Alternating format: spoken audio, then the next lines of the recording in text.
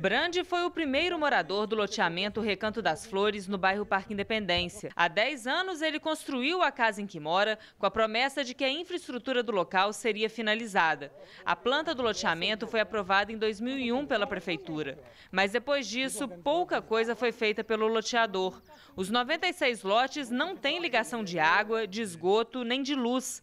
As ruas são de terra e estão esburacadas. Hoje em dia, a gente ainda depende de, da água de Cesão Tá? Tem 10 anos que eu moro aqui. A Cesama traz duas vezes para gente.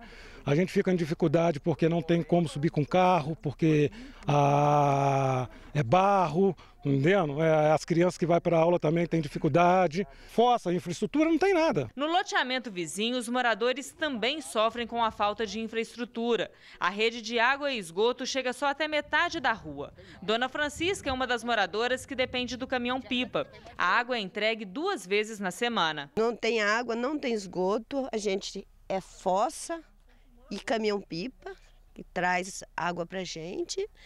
E também o problema aqui, o problema aqui traz muito, esse, tá muito lixo para ali também, entendeu? A gente tem medo da dengue. Os moradores também precisam puxar a luz da rua de baixo. O abaixo-assinado pedindo melhorias foi entregue à Prefeitura e à Cesama. O pedido de ligação de água e esgoto é feito desde 2009. A capina foi solicitada ao Departamento de Limpeza da Prefeitura em setembro do ano passado. A rua de acesso à casa de José Geraldo é capinada por ele. Ultimamente está aparecendo bichos, cobras, e as, as crianças que passam por aqui, adultos, né? É preciso fazer alguma coisa para favorecer. Os moradores já não sabem mais a quem apelar.